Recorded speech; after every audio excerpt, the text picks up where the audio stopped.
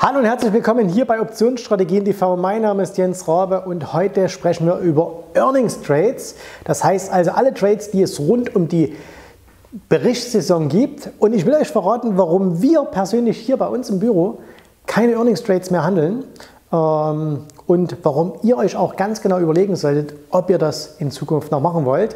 Also wenn euch das Thema interessiert, dann bleibt dran. Jetzt geht's los.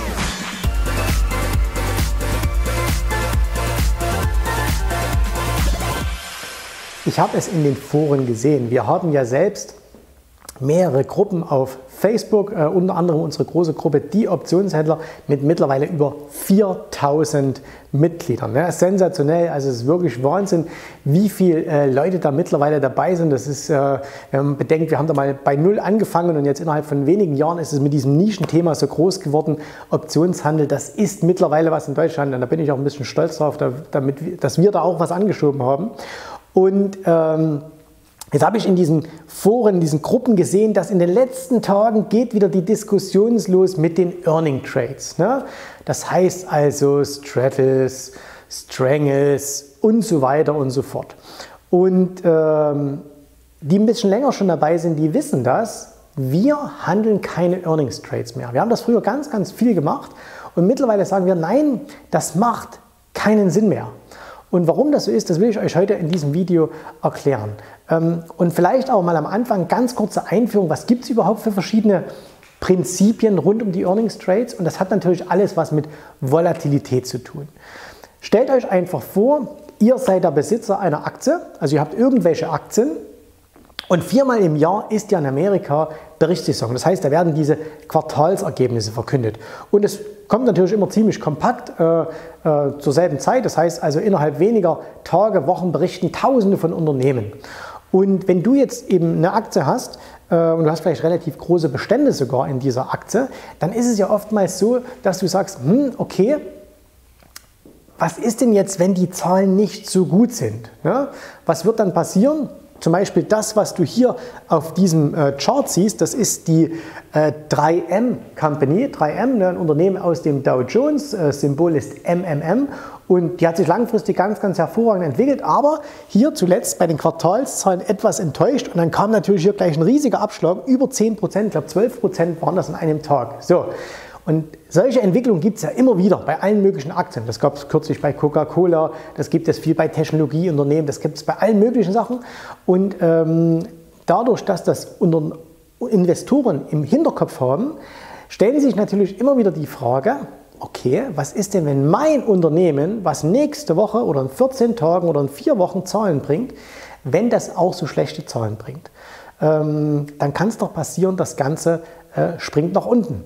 Und was passiert also dann? Diese Investoren fangen an, Absicherungen zu kaufen. Absicherungen sind nun mal was? Genau, Optionen. Ja? Und dadurch, dass immer mehr Investoren reinkommen und sagen, okay, je näher der Termin ran ist, ich muss mich mal noch absichern, ich muss mich mal hatchen, umso mehr werden Optionen gekauft. Und da passiert jetzt Folgendes, immer wenn nach einem Produkt die Nachfrage steigt, und letztendlich ist eine Option nur ein Produkt, dann werden die Preise teurer. Und das geschieht hier bei den Optionen über die sogenannte implizite Volatilität. Das heißt, die Volatilität steigt an. So, und dieser Volatilitätsanstieg, das ist das Geheimnis hinter jedem Earnings Trade. Egal welcher es ist, es geht immer nur um diese Volatilität. Denn es gibt, das können wir hier mal vielleicht ein bisschen skizzieren, es gibt im Grunde nur zwei Strategien, wie du Earnings handeln kannst. Und zwar Nummer eins, indem du darauf setzt, dass du schon deutlich vor den Earnings Volatilität kaufst, das heißt, du kaufst Optionen. Das wird zum Beispiel dann über Long Straddles gemacht, also das heißt ein Call und Put am Geld kaufen beispielsweise. Und äh, da setzt du eigentlich darauf, dass die Volatilität steigt. So, das ist die eine Strategie. Die passiert vor den Earnings. Und die andere Strategie, die basiert eigentlich genau zu den Earnings, nämlich dass man sagt, ein oder zwei Tage zuvor, du verkaufst eine gewisse Range. Also, dass du sagst, okay, du verkaufst zum Beispiel, was weiß ich, hier sind jetzt die Earnings angekündigt und jetzt sagst du, ich verkaufe hier oben einen Call und ich verkaufe hier unten einen Put. Oder diejenigen, die sagen, ah, ich bin ein bisschen risikoavers, die machen vielleicht eher einen Spread oben und unten. Und was ist da die Idee? Dass bei den Earnings eben nichts passiert, dass die Zahlen relativ äh, moderat ausfallen, weder positiv noch negativ überraschen und dann folgendes passiert, nämlich dass dann der sogenannte Vola-Crash einsetzt. Das heißt, dass die Volatilität wieder runtergeht. So. Und statistisch betrachtet ist das ein Trade, der funktioniert, genauso wie statistisch betrachtet das ein Trade ist, der funktioniert. Und was ist aber das Problem mit jeder Statistik? Und das ist auch der Grund, warum wir diese Strategien nicht mehr handeln. Und zwar, wir haben besonders diesen Trade hier sehr, sehr häufig gemacht. Wir haben den jahrelang gehandelt. Und das bedeutet aber auch, und das ist, glaube ich, das, was viele Privatanleger vollkommen unterschätzen, mit welcher Frequenz du da handeln musst.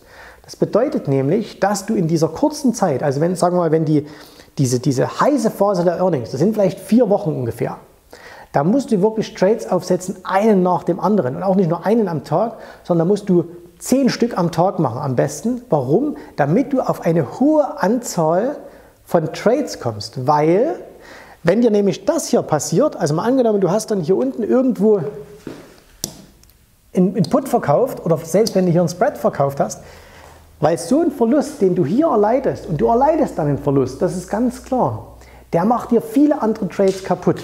Ne? Und wenn du jetzt sagst, okay, während so einer Earnings Season, und die geht vielleicht, sagen wir mal, 30, 40 Handelstage, sagen wir mal 30 Handelstage, und du machst jeden Tag 10 Trades, dann machst du 300 Trades. Und dann kannst du es auch mal erlauben, dass es da mal vielleicht 5 oder 10 zerschießt, wenn überhaupt. Ne? Vielleicht 5 oder so, die würdest du dann zerschießen. Aber in der Summe hast du trotzdem Geld verdient und das auch gar nicht so schlecht. Das erfordert aber, dass du in dieser Zeit wirklich jeden Tag Trades aufsetzt. Jeden einzelnen Tag. Das heißt, wann musst du am Rechner sein? Du musst von Montag bis Freitag immer kurz vor Eröffnung der Börsen da sein. Das heißt also 15.15 Uhr 15 musst, du, musst du deinen Plan fertig haben, weil wenn die Zahlen, die vorbörslich kommen, musst du ja sofort reagieren, wenn hier was passiert. Das bedeutet, du bist die nächsten vier bis sechs Wochen jeden Tag 15 Uhr am Rechner. So, bedeutet aber auch, dass du immer abends da sein musst, kurz vor 22 Uhr, weil du dann wieder neue Trades aufsetzen musst, nämlich für all die Firmen, die dann in der Nacht oder am nächsten Morgen dann berichten, um eben diese Schlagzahl einfach zu haben, dass du diese Frequenz hast, ne, dass du wirklich viele, viele Trades hast. Und ich lese bei uns immer in den Gruppen dann, ah, ich habe gestern einen Trade gemacht, auf den die Firma ist vollkommen in die Hose gegangen und äh, ich weiß nicht, ob ich das mit dem Earnings Trading weitermachen soll. Äh, wohingegen eben ein Händler, der das professionell macht, der zieht die Dinge einfach durch. Das heißt, er sagt, okay, heute zehn Stück gemacht, einer in die Hose gegangen, Tagesverlust. Nächsten Tag zehn Stück gemacht, keiner in die Hose gegangen, Tagesgewinn. Und dann macht er das Tag für Tag für Tag. Wir neigen aber dazu als Private, weil wir die die Schlagzahl nicht machen wollen oder die Schlagkraft vielleicht auch finanziell nicht haben, weil wir es uns gar nicht leisten können. Gerade wenn das jemand macht mit einem kleinen Konto, ne? also 10.000er Konto und dann irgendwie Earnings Trades machen, ist Irrsinn, weil ähm, es ist nicht Irrsinn, es funktioniert ja, wenn du es zum Beispiel über Iron Condors machst, ne, dann kannst du auch 10 Stück am Tag machen. So, weil das kriegst du von der Margin ja hin. Aber die meisten machen nur ein oder zwei Trades dann und dann vielleicht noch ein oder zwei Trades in der Woche. Und wir neigen, das wollte ich eigentlich sagen, wir neigen nun mal dazu, uns dann immer die Firmen herauszusuchen, ähm, die uns gefallen. So eine 3M, ne? Die Firma kennen wir ja. Du musst es aber in allen möglichen Firmen machen. Du musst schauen, welche Sektoren kommen an dem Tag. Was sind, du musst in die Vergangenheit schauen. Das heißt, das ist ein riesiger Aufwand, den du da betreiben musst. Und ich behaupte einfach, dass 99 Prozent der Privatanleger nicht die Ressource Zeit haben oder selbst wenn sie sie hätten, nicht bereit sind, diese Ressource einzusetzen, um hier statistisch auch wirklich erfolgreich sein zu können. Sondern wir greifen uns quasi so einzelne Trades heraus. Das kann gut gehen, aber da kennt ihr Murphy's Law, was schief geht, geht schief.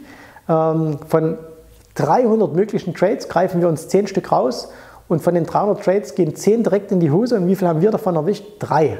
So, jetzt ist aber ein Unterschied, ob du 300 Trades machst und 10 gehen schief oder ob du 10 Stück machst und 3 gehen schief. Ja? Und deswegen empfehlen wir auch, wir haben das früher gemacht im Webinar für kleine Konten, äh, wer das will, kann man immer noch kaufen bei uns auch. Ne? Aber wir sagen auch ganz explizit, diese Strategien handeln wir nicht mehr. Und zwar nicht, weil sie funktionieren. Die funktionieren 100 Prozent. Aber wir glauben einfach, dass die meisten Privatanleger diese Trades nicht umsetzen können. Und warum machen wir es nicht mehr? Ganz einfach, weil wir zu faul geworden sind. Nein, wir machen es einfach nicht mehr. Wir wollen das nicht mehr. Wir wollen diesen Arbeitsaufwand nicht mehr betreiben, weil wir mittlerweile andere Möglichkeiten auch haben. Und wir wollen einfach nicht mehr wochenlang, auch abends immer so lange da sitzen, jeden Mittag da sitzen, auch am Freitag. Normalerweise, wenn bei uns freitags nichts ist, ne, sind wir hier auch um 15 Uhr verschwunden. Und äh, früher saßen wir wirklich je Tag für Tag für Tag für Tag, saßen wir dann da bis abends um 10, am nächsten Tag wieder früh da. Und wir haben dann einfach mal gesagt, okay, komm, gibt es nicht eine andere Möglichkeit, das Geld zu verdienen und die gibt es definitiv über andere Trading-Möglichkeiten. Entscheidet das für euch selber. Es ist meine subjektive Meinung, warum ich keine Earnings mehr handle. Wenn ihr das aber macht, dann denkt daran, ihr müsst eine hohe Schlagzahl fahren, damit ihr einfach die Statistik auf eure Seite ziehen könnt. Wenn ihr nur euch einzelne Trades raussucht, dann ist das so ein bisschen ähm, Angeln im Trüben und das geht meistens nicht gut. Wenn ihr Fragen zu Strategien habt, ne, dann schreibt mir das in die Kommentare, diskutiert über dieses Thema Earnings. Und äh, wenn ihr wissen wollt, eine Earnings-Strategie, die funktioniert, wenn ihr sagt, nee, ich will das auch trotzdem ausprobieren, kleine Konten-Webinar und wer da das äh, Platin-Paket kauft, da sind sogar die ganzen alten Ausgaben noch mit dabei, also 1, 2, 3, 4 und 5. Das heißt, da kriegt ihr fünf Webinare zum Preis von eigentlich einem und äh, da habt ihr auch die ganzen alten Strategien dabei. Also wenn ihr das wollt, schaut euch das mal an. Das war's für heute. Wir sehen uns wieder beim nächsten Video. Danke fürs Zuschauen und äh, bis zum nächsten Mal. Alles Gute, viel Erfolg. Tschüss, Servus, macht's gut. Bye, bye.